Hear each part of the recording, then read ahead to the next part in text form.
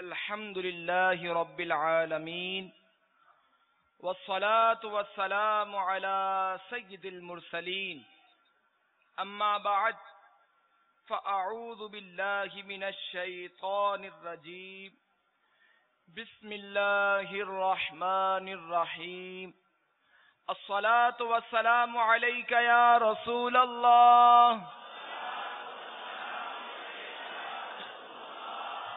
وعلى آلك وأصحابك يا حبيب الله.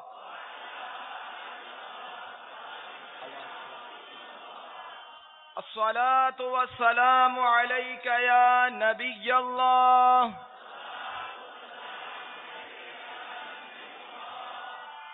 وعلى آلك وأصحابك يا نور الله.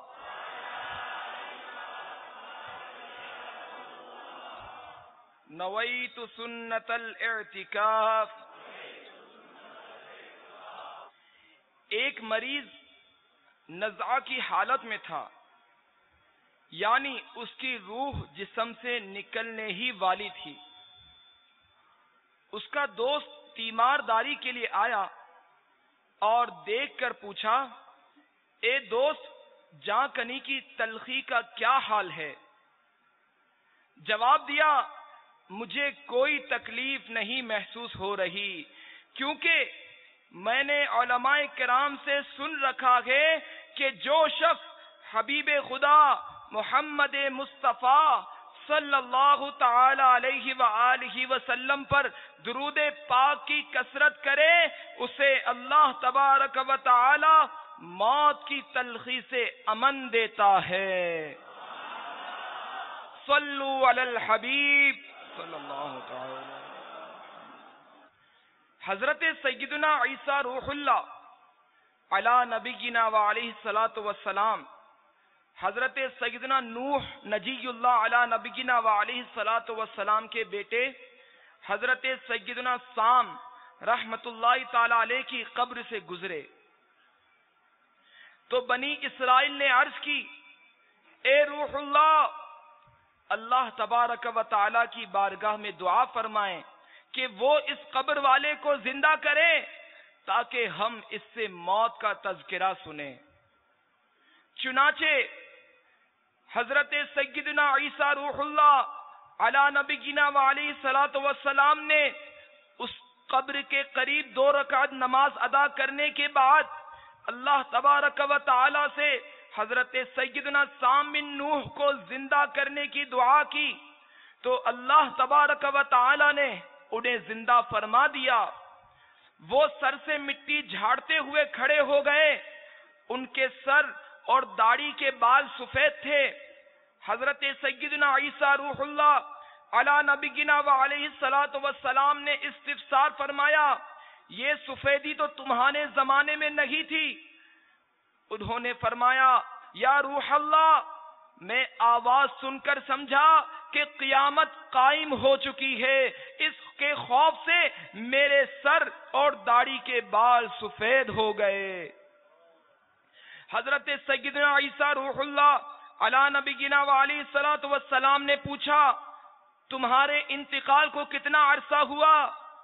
انہوں نے بتایا، چار ہزار سال، مگر اب تک موت کی سختی اور کڑواہٹ مجھ سے نہیں گئی۔ میٹھے میٹھے اسلامی بھائیوں، دیکھا آپ نے حضرت سیدنا سام رحمت اللہ تعالی علیہ، باوجود یہ کہ ایک جلیل القدر اور اول العزم حوصلے والے نبی حضرت سیدنا نوح علا نبی گنا و علی سلاۃ وسلام کے شہزادے ہیں اور یہ ان چند افراد میں سے تھے کہ جو حضرت سیدنا نوح علا نبی گنا و علی سلاۃ وسلام پر ایمان لائے تھے۔ لیکن حضرت سیدنا عیسیٰ علیہ السلام کے ارشاد پر اٹھتے وقت قیامت آنے کے خوف سے ان کے بال سفید ہو گئے اور چار ہزار سال گزر جانے کے بعد بھی موت کی کرواہٹ باقی تھی اور ہمارا حال یہ ہے کہ ہمارے پلے میں کوئی بھی نیک عمل نہیں، گناہوں کی کثرت میں ہم سب سے آگے گئے۔ خدا تبارک و تعالی کی نافرمانی میں گویا کہ ہمارا کوئی ثانی نہیں۔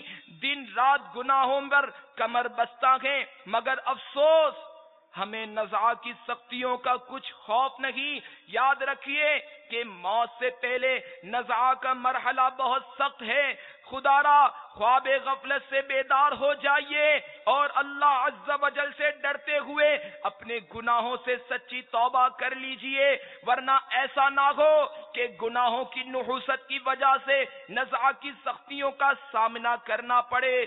گناہوں سے توبہ کرنے اور نیکیاں اپنانے اور نیکیوں پر استقامت پانے کا ایک بہترین ذریعہ دعوت اسلامی کا مدنی ماحول بھی ہے۔ اس مدنی ماحول سے وابستہ ہو جائیے۔ انشاءاللہ العزیز، عاشقان رسول کی صحبت سے نیکیاں کرنے اور گناہوں سے بچنے کا ذہن بنے گا۔ چھپ کے لوگوں سے کیے جس کے گناہ۔ چھپ کے لوگوں سے کیے جس کے گناہ۔ وہ خبردار ہے، کیا ہونا ہے؟ ارے او مجرم بے پرواہ دیکھ، سر پہ تلوار ہے، کیا ہونا ہے؟ ہائے رے نیند مسافر تیری کچھ تیار ہے، کیا ہونا ہے؟ دور جانا گے رہا دن تھوڑا راہ دشوار ہے، کیا ہونا ہے؟ میٹھے میٹھے اسلامی بھائیوں اس بات میں کوئی شک نہیں کہ موت بر حق ہے۔ یہ ایک ایسی حقیقت ہے کہ جس کا انکار ممکن نہیں۔ ہر وہ زی روح جس کے جس نے زندگی کا جام پی لیا ہے، اس نے موت کا پیالہ بھی پینا ہے۔ امیر ہو یا غریب، بادشاہ ہو یا وزیر چوکی دار ہو یا دکاندار، پروفیسر ہو یا ان پڑھ، عالم ہو یا غیر عالم، پیر ہو یا مرید، مسلم ہو یا غیر مسلم۔ جس بھی حیثیت کا حامل کوئی انسان ہے، اسے ضرور موت کا سامنا کرنا پڑے گا۔ موت ہر ایک کو آنی ہے، اس سے فرار ممکن نہیں۔ ہم دنیا کے کسی بھی گوشے میں پہنچ جائیں اور موت سے بچنے کے لیے جتنے بھی جتن کر لے لیکن موت سے ہرگز پیچھا نہیں چھڑا سکتے۔ قرآن پاک میں یہی مضمون کئی مقامات پر بیان ہوا ہے، چنانچہ پارا چار آل عمران کی آیت نمبر ایک سو پچاسی میں ارشاد ہوتا ہے، کل نفس ذائقت الموت، ترجمہ کنز ایمان ہر جان کو موت چکھنی ہے۔ مفسر شہیر حکیم الامت مفتی احمد یار خان علی رحمت الحنان اس آیت مبارکہ کے تحت فرماتے ہیں، انسان ہو یا جن یا فرشتہ، اللہ کے سوا ہر ایک کو موت آنی ہے اور ہر چیز فانی ہے۔ جبکہ ایک اور مقام پر ارشاد ہوتا ہے، اینما تکونو یدرککم الموت ولو کنتم فی بروج مشیدہ ترجمہ کنز ایمان، تم جہاں کہیں ہو، موت تمہیں آ لے گی، اگرچہ مضبوط قلعوں میں۔ اس آیت مبارکہ کے تحت تفسیر نعیمی میں ہے کہ ہر شخص کی موت کا وقت، موت کی جگہ مقرر ہے کوئی اس سے کسی تدبیر اور کسی ہیلے سے بچ نہیں سکتا۔ تم جہاں کہیں رہو، موت تم کو ضرور پہنچے گی۔ اگرچہ تم مضبوط کلو یا آسمان کے برجوں میں پہنچ جاؤ، زندگی کے لیے کتنے ہی حفاظت کے سامان بنا لو، مگر مرو گے ضرور۔ تو خوشی کے پھول لے گا کب تلک، تو یہاں زندہ رہے گا کب تلک۔ لہلہاتے کھیت ہوں گے سب فنا، خوشنما باغات کو گے کب بقا، کر لے جو کرنا گے آخر موت گے۔ ایک دن مرنا گے آخر موت گے۔ چل دیے دنیا سے سب شاہ ہو گدا۔ کوئی بھی دنیا میں کب باقی رہا۔ میٹھے میٹھے اسلامی بھائیوں معلوم ہوا کہ موت کا دن مقرر ہے۔ ہم چاہے کیسے ہی مضبوط مکان میں خود کو بند کر لیں یا کیسی ہی بلند ترین جگہ پر جا بیٹھیں، لیکن موت سے بچ کر کہیں نہیں جا سکتے۔ اور جب کسی پر جا کنی کا عالم تاریخ ہوتا ہے اور جسم سے روح نکل رہی ہوتی ہے، تو یہ بھی انتہائی دشوار معاملہ ہے۔ نزا کے وقت پیش آنے والی سختیوں کا ذکر قرآن مجید میں بھی موجود ہے۔ چنانچہ ارشاد باری تبارک و تعالی ہے وجاءت سكرة الموت بالحق۔ ذلك ما كنت منه تحيد۔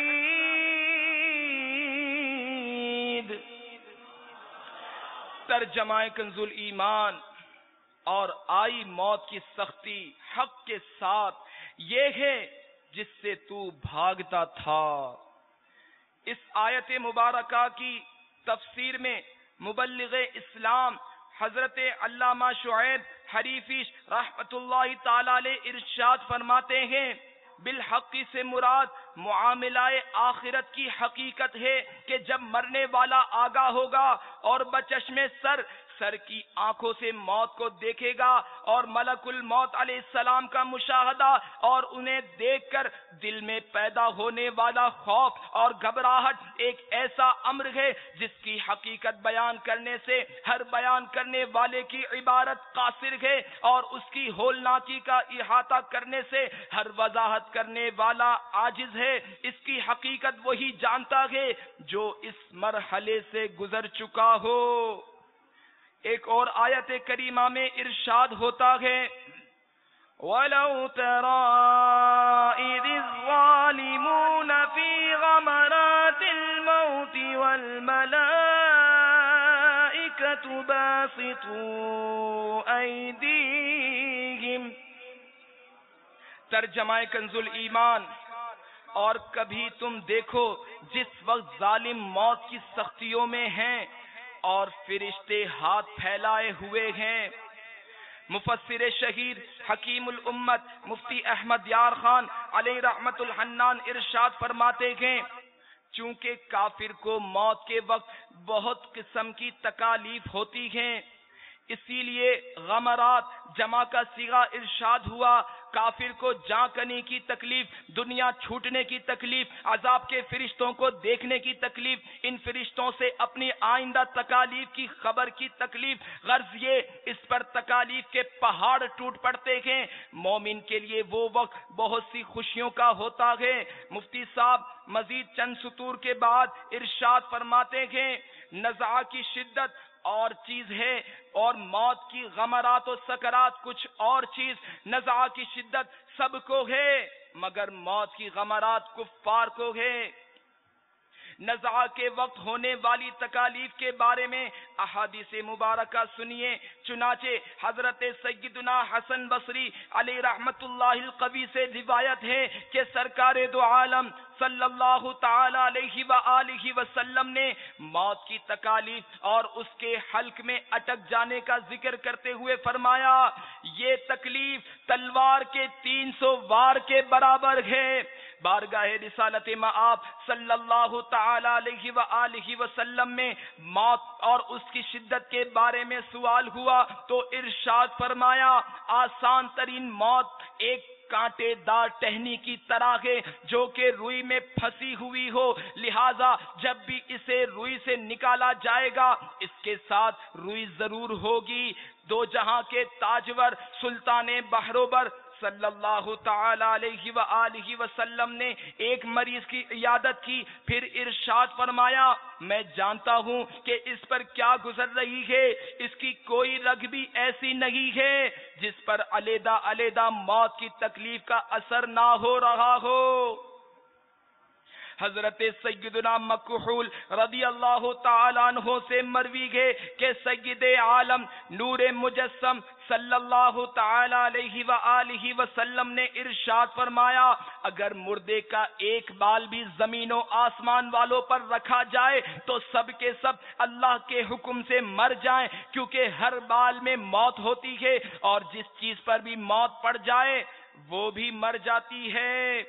میٹھے میٹھے اسلامی بھائیوں، ان احادیث مبارکہ میں وقت نزا کی جو کیفیت اور شدت بیان کی گئی ہے، اس سے معلوم ہوتا ہے کہ مرنے والا انتہائی شدید قسم کے درد اور تکلیف میں مبتلا ہوتا ہے۔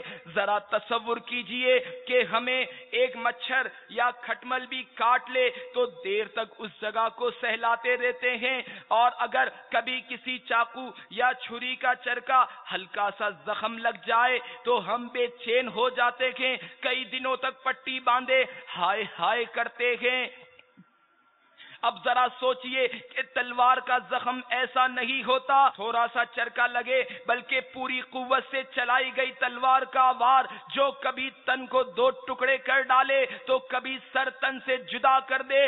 کسی کی ٹانگ کاٹ دے تو کسی کا ہاتھ بیکار کر دے۔ اتنی شدت سے کیے جانے والے تلوار کے ایک وار میں کتنی تکلیف ہوگی؟ اب اندازہ لگائیے کہ بھرپور شدت سے چلائی گئی تلوار کے تین سو واروں میں کتنی تکلیف اور درد ہوگا۔ جبکہ ایک حدیث پاک میں گئے موت کا ہر جھٹکا ہزار ضرب تلوار سے سخت تر ہے۔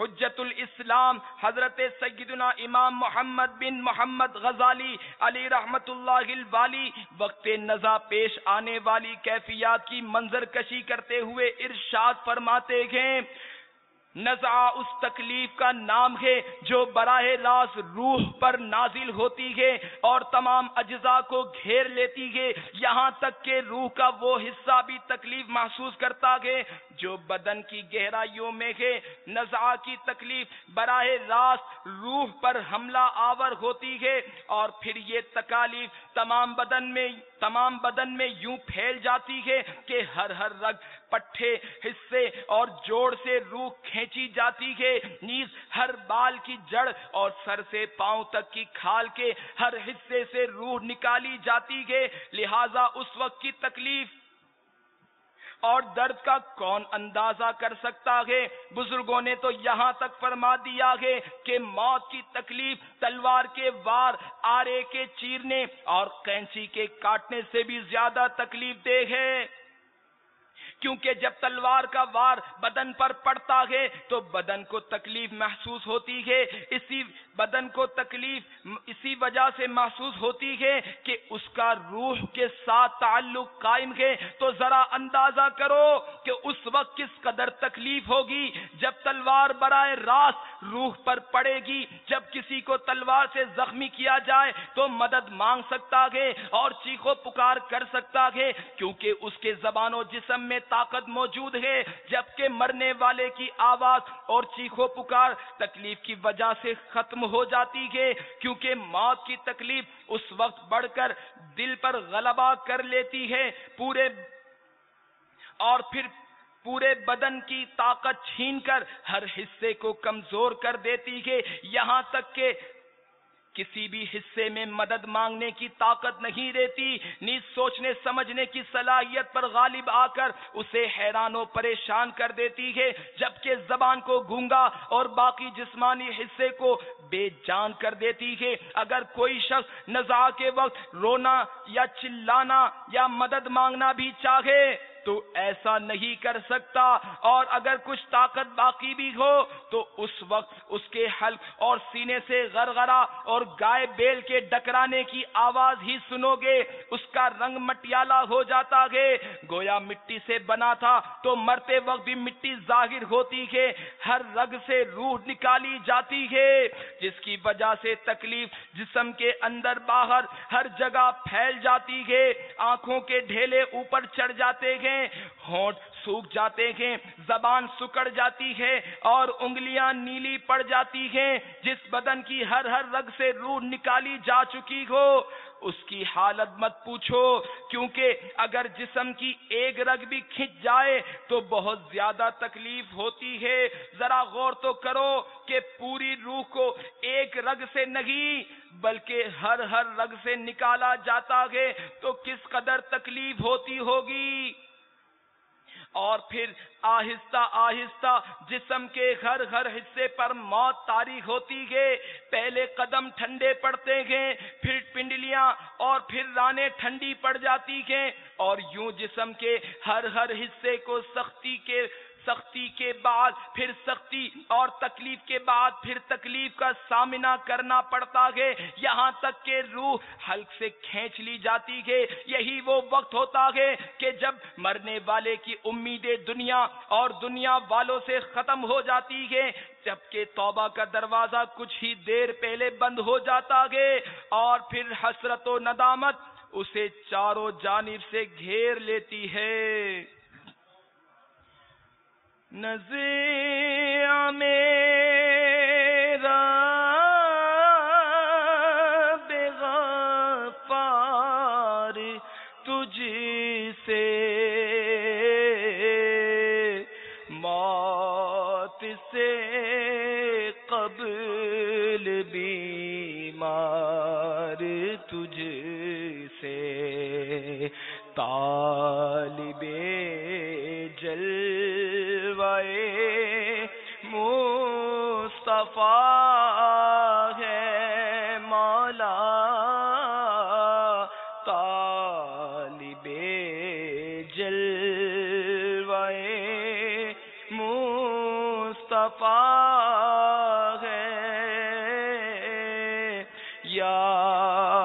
خدا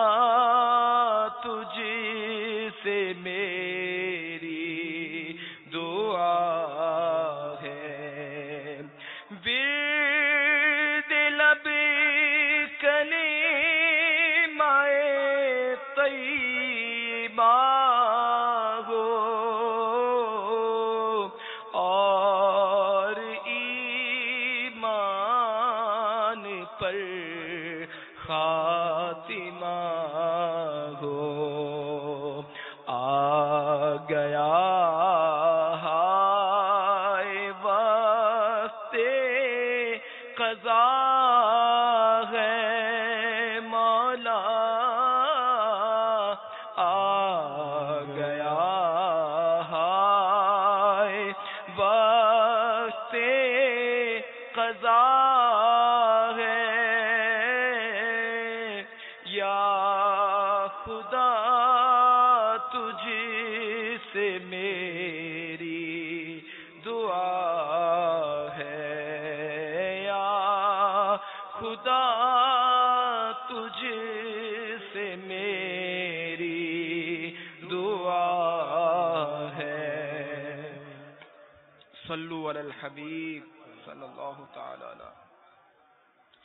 میٹھے میٹھے اسلامی بھائیوں آپ نے سنا کہ مرنے والا نزا کے وقت کتنی دردناک کیفیت سے گزرتا ہے۔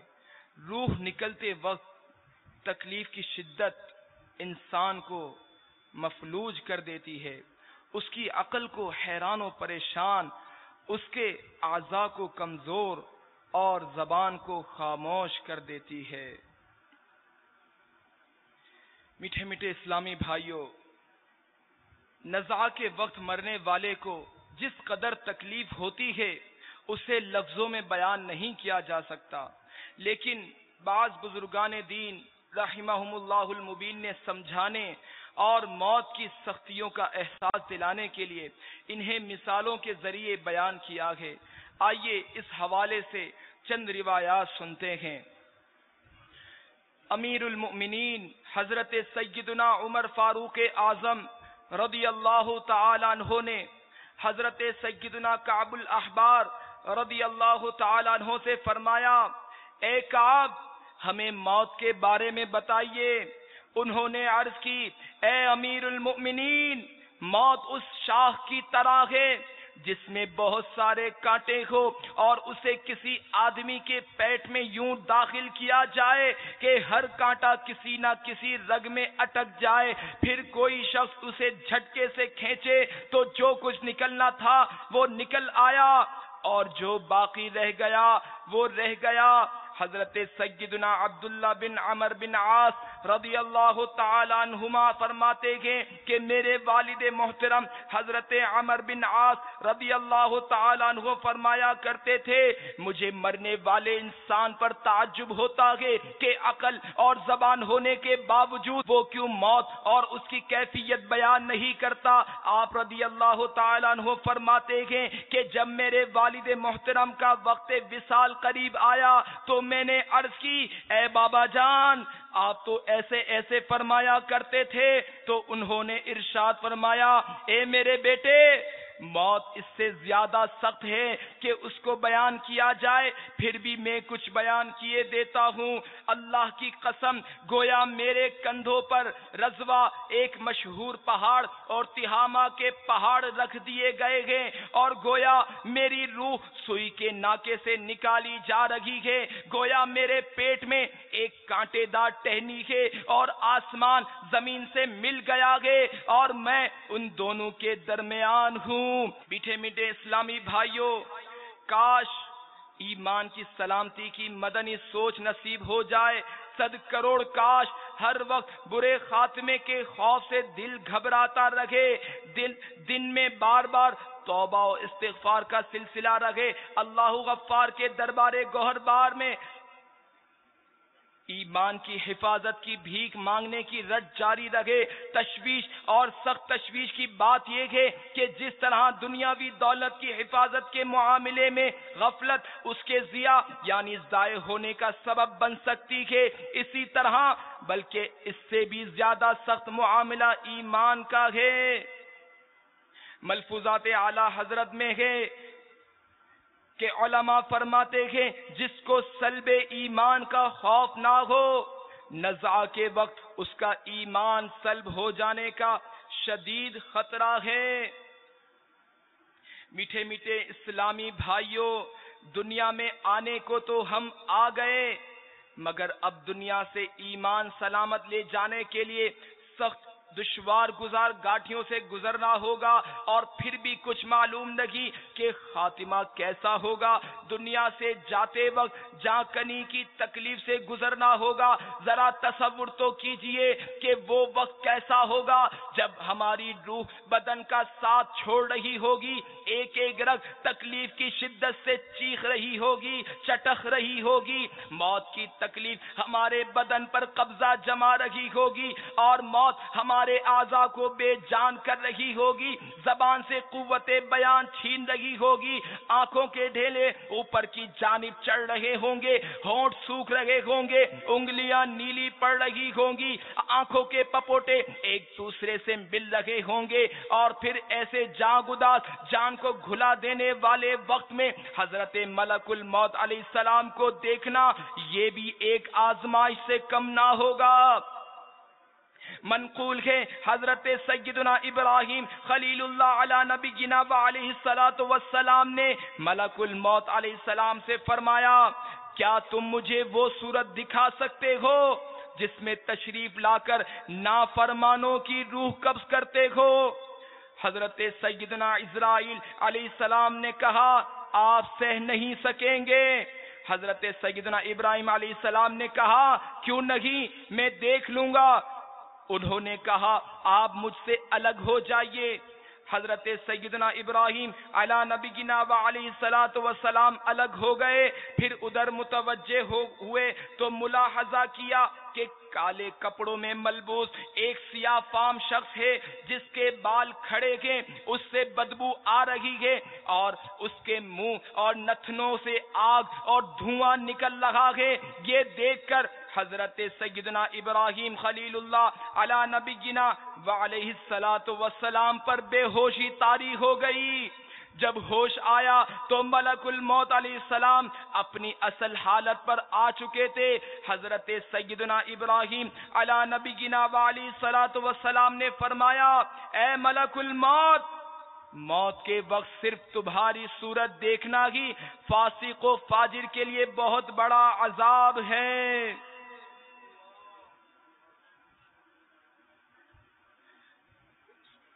میٹھے میٹھے اسلامی بھائیوں آپ نے سنا کہ جناب ملک الموت علیہ السلام وقت نزا کیسی حیبت ناک صورت میں آئیں گے کہ سیدنا ابراہیم علی نبی گنا علی سلاۃ وسلام جلیل القدر پیغمبر ہونے کے باوجود بھی آپ علیہ السلام کی صورت دیکھ کر بے ہوش ہو گئے۔ ذرا سوچئے کہ ہم جیسے سیاہ کاروں جو گناہوں کے دلدل میں دسے ہوئے گے اور نیکیوں سے بالکل آری گے اور ہمارا ایمان اتنا کمزور گے کہ ہم گناہوں سے اپنا پیچھا نہیں چھڑا پاتے۔ ذرا سوچئے کہ وقت نزا جب موت کی تکلیفیں بھی ہوں گی، شیطان بھی ہمیں ورغلانے کی پوری کوشش کر رہا ہوگا۔ حضرت ملک الموت علیہ السلام کا سامنا بھی کرنا ہوگا۔ اس نازک وقت میں ہم اپنے ایمان کی حفاظت کیسے کر پائیں گے؟ بابا سے نظی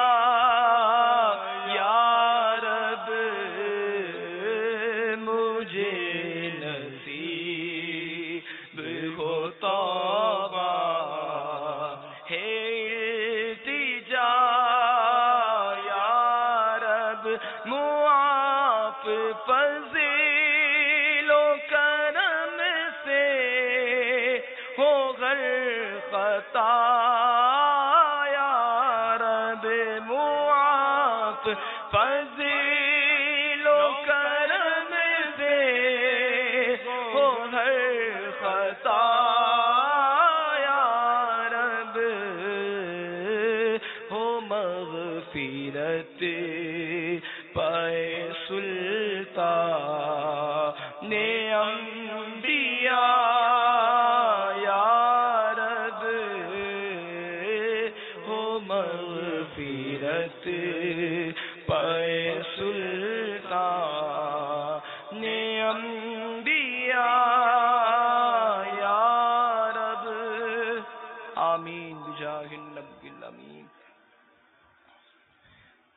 حجت الاسلام، حضرت سیدنا امام محمد بن محمد غزالی علی رحمت اللہ الوالی نصیحت کرتے ہوئے فرماتے ہیں، برے خاتمے سے امن چاہتے ہو تو اپنی ساری زندگی اللہ عز و جلہ کی اطاعت میں بسر کرو اور ہر ہر گناہ سے بچو۔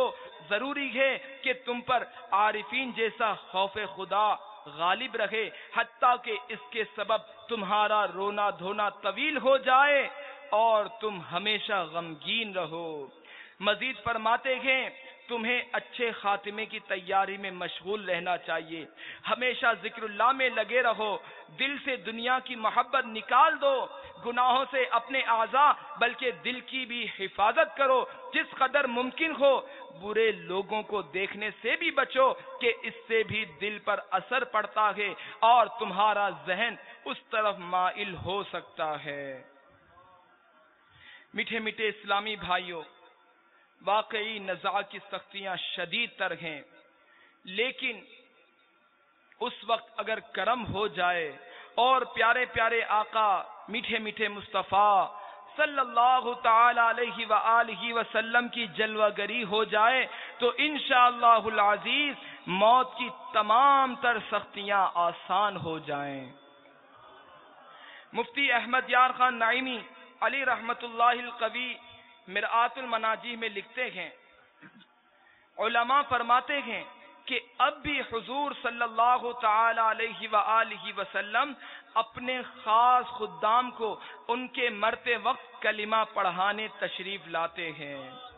ایسے لوگ بھی دیکھے گئے ہیں جنہوں نے مرتے وقت حضور صلی اللہ تعالی علیہ وآلہ وسلم کی تشریف آوری کی خبر حاضرین کو دی، خود بستر مرگ پر اٹھ کھڑے ہوئے حاضرین سے کہا، تعظیم کرو۔ حضور صلی اللہ تعالی علیہ وآلہ وسلم آ گئے ہیں۔ کاش ہم گناہ گاروں پر بھی کرم ہو جائے اور مرتے وقت جلوہ مصطفیٰ کی جھلک نصیب ہو جائے۔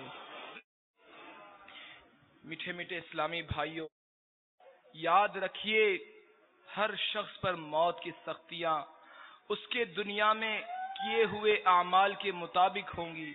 نزا کی سختیوں کے وقت بندے کے اس کے اچھے اور برے اعمال پیش کیے جائیں گے۔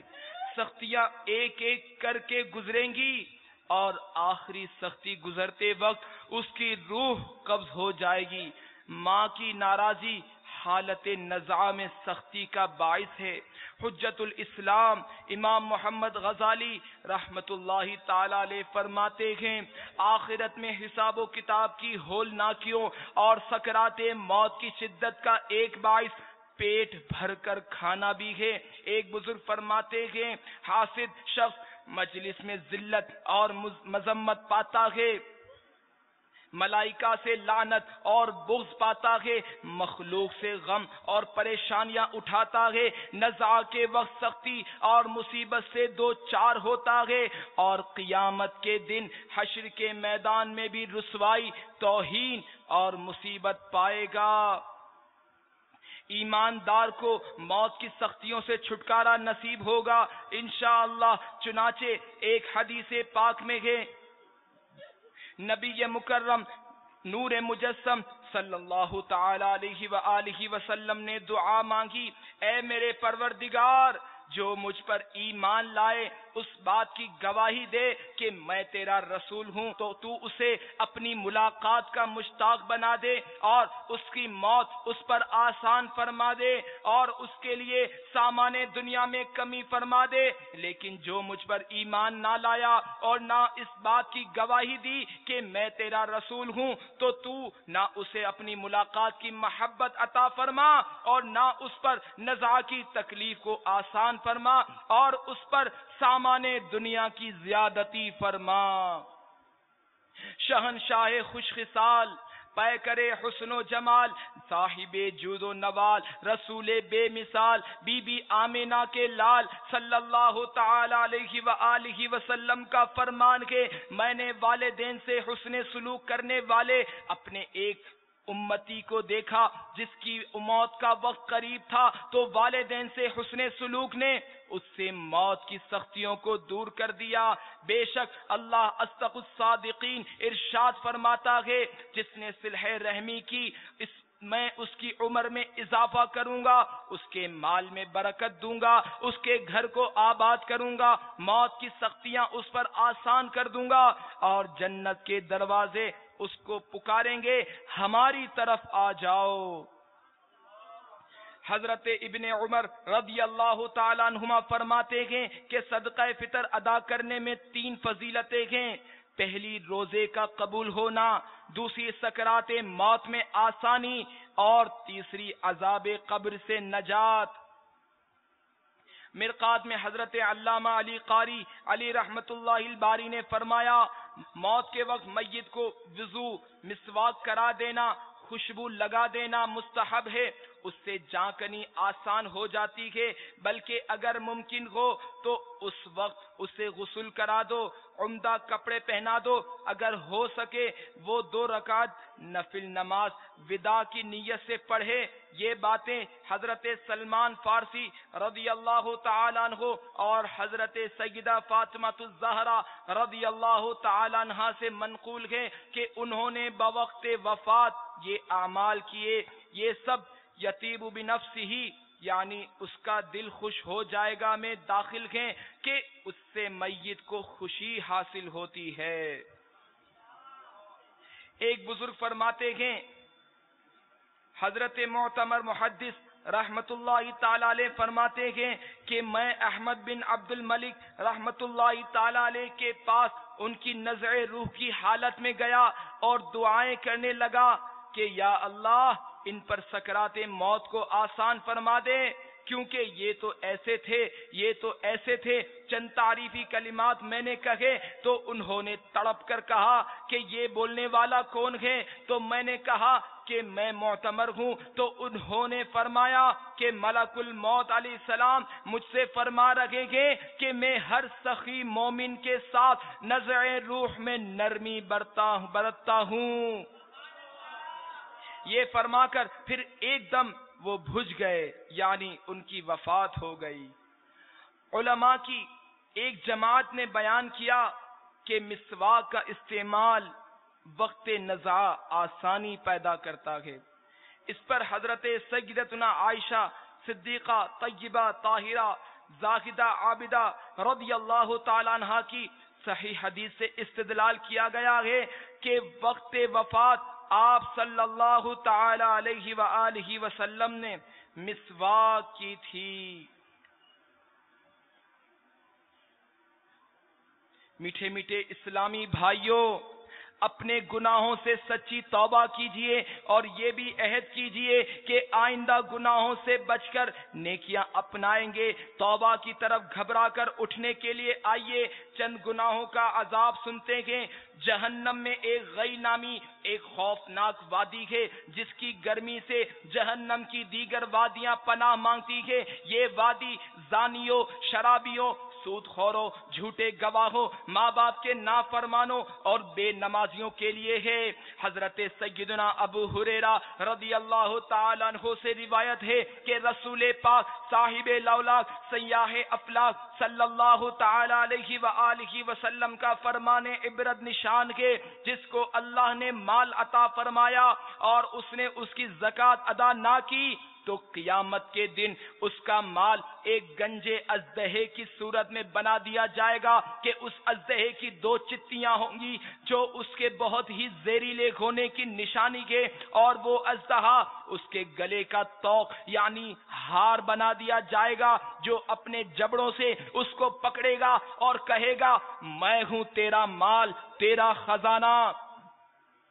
شرابے پینے والے کان کھول کر سنیں اور تھر تھر کانپیں۔ رسول اللہ صلی اللہ تعالی علیہ وآلہ وسلم کا فرمانے عبرت نشان ہے، جو شراب پی لے گا، چالیس دن تک اس کی نماز قبول نہیں ہوگی۔ اگر اس نے توبہ کر لی تو اللہ تبارک و تعالی اس کی توبہ قبول فرما لے گا۔ پھر اگر دوبارہ شراب پی لی تو پھر چالیس دن تک اس کی نماز قبول نہیں ہوگی، اگر اس نے توبہ کر لی تو اللہ تبارک و تعالی اس کی توبہ قبول فرمائے گا۔ پھر اگر تیسری بار شراب پی لی تو پھر چالیس دنوں تک اس کی نماز قبول نہیں ہوگی۔ اگر اس نے توبہ کر لی تو اللہ تبارک و تعالی اس کی توبہ قبول فرمائے گا۔ پھر اگر چوتھی مرتبہ اس نے شراب پی لی تو پھر چالیس دنوں تک اس کی نماز قبول نہیں ہوگی۔ اب اگر اس نے توبہ کر لی تو اس کی توبہ قبول نہیں ہوگی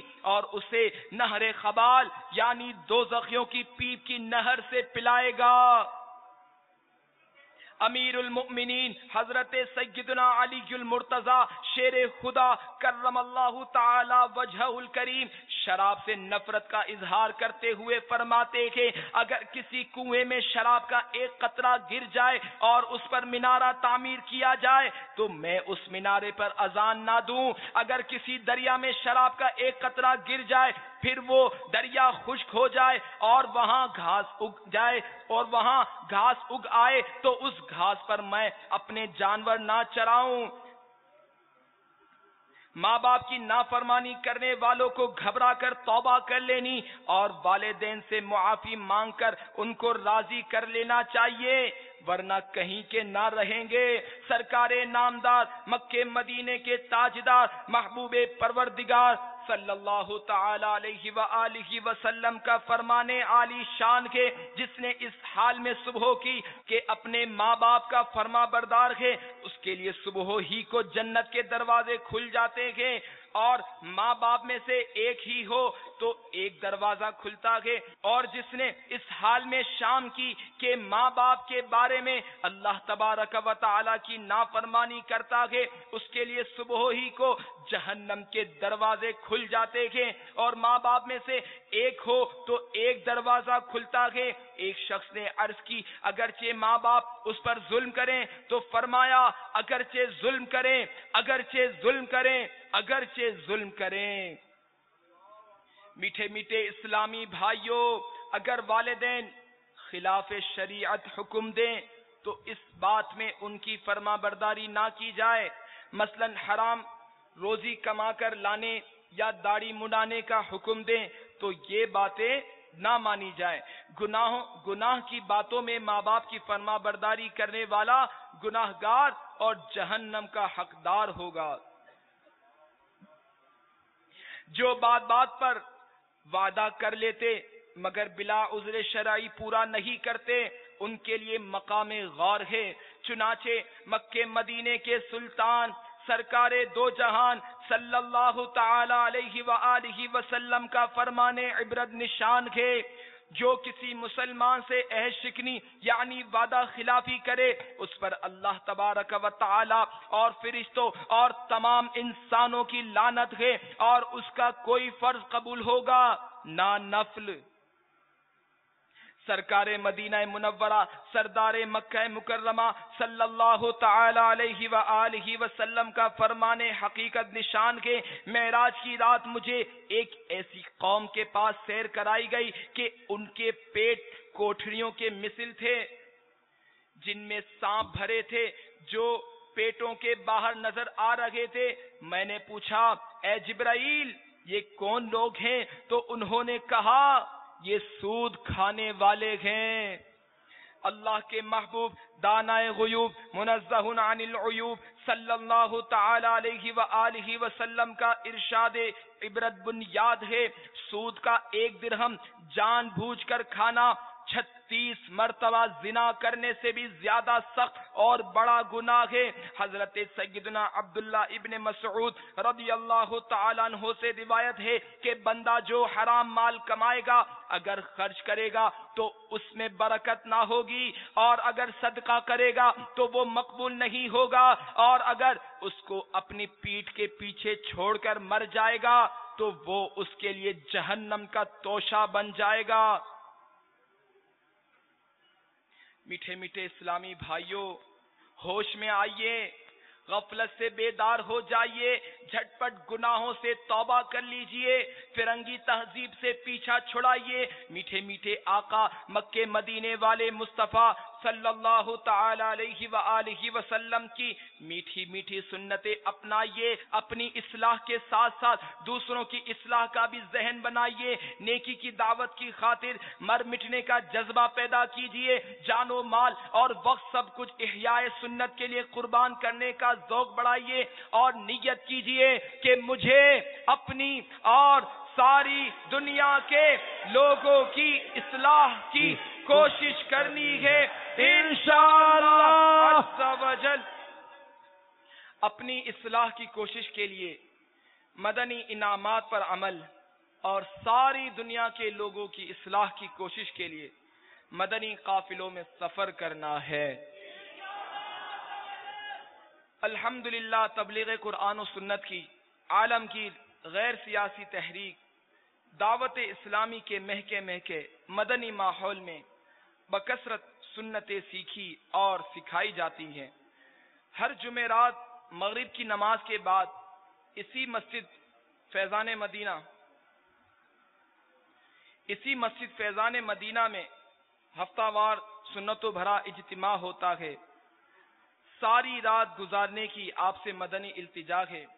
عاشقان رسول کے مدنی قافلوں میں سنتوں کی تربیت کے لیے سفر اور روزانہ فکر مدینہ کے ذریعے مدنی انعامات کا رسالہ پر کر کے اپنے یہاں کے ذمہ دار کو جمع کروانے کا معمول بنائیے۔ انشاءاللہ العزیز، اس کی برکت سے پابند سنت بننے، گناہوں سے نفرت کرنے اور ایمان کی حفاظت کے لیے کڑنے کا ذہن بنے گا۔ اب تمام اسلامی بھائی دل کے پکے عزم کے ساتھ اپنے ہاتھوں کو بلند کر کے فلک شگاف ناروں کے ذریعے اپنے مدنی جذبات کا اظہار کیجیے نیت کیجیے کہ اب میری کوئی نماز قضا نہیں ہوگی۔ انشاءاللہ۔ رمضان المبارک کا کوئی روزہ قضا نہیں ہوگا۔ انشاءاللہ۔ فلمیں ڈرامے نہیں دیکھوں گا۔ انشاءاللہ۔ گانے باجے نہیں سنوں گا۔ انشاءاللہ۔ داڑھی نہیں منڈواؤں گا۔ انشاءاللہ۔ ایک مٹھی سے نہیں گھٹاؤں گا۔ انشاءاللہ۔ اللہ تبارک و تعالی سے دعا ہے کہ جو کچھ یہاں ہم نے بیان سنا اسے یاد رکھنے اس پر عمل کرنے اور اسے دوسروں تک پہنچانے کی سعادت نصیب فرما آمين بجاه النبي الأمين صلى الله تعالى عليه وآله وسلم. طلع البدر علينا من ثنيات الوداع وجبال